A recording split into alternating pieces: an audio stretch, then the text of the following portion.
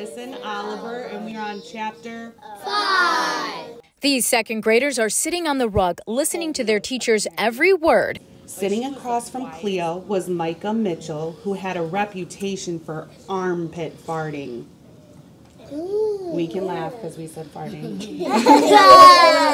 As she reads CEO Cleo Edison Oliver, Playground Millionaire by Sundee Tucker Frazier. Think I'm strange all you want, Cole Lewis. I'll be laughing all the way to the bank. So not only are the second graders reading Cleo Edison Oliver, the entire school is reading the book.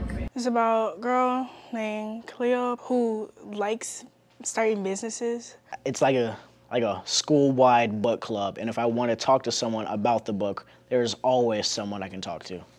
This book is part of the One School, One Book reading program at Mary Bethune Pre K through 8 school started last year. This is the fourth book the entire school has read together. We decided to do this to help reinforce our reading instruction, to bring our parents and have parental involvement within the school, and to bring about joy of, and the, for the love of reading. She slid down the slide to the rubbery black turf. In this fifth grade class, they are reading along to a video of an educator reading one of the chapters.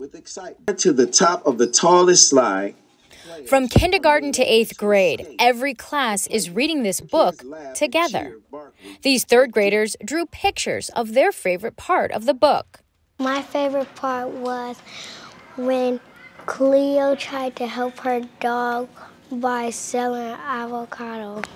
These seventh graders are answering questions to make sure they are comprehending what they are reading. What had happened at the park? She got she got sick.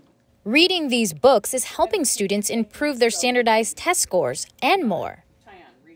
Where someone may not have um, taken time to investigate, do a close reading is one of those strategies that we use, and to be able to transcend that into taking the test and um, marking on on the the passage to be able to articulate the answer. And then not just for a test but we read um, every day in life.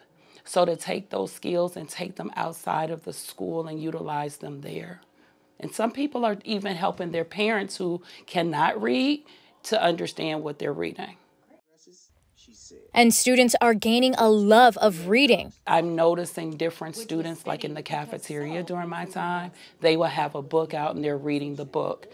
And these are children that we didn't see reading, just leisurely reading, but we're seeing that now. I like reading more because everybody's reading the same book.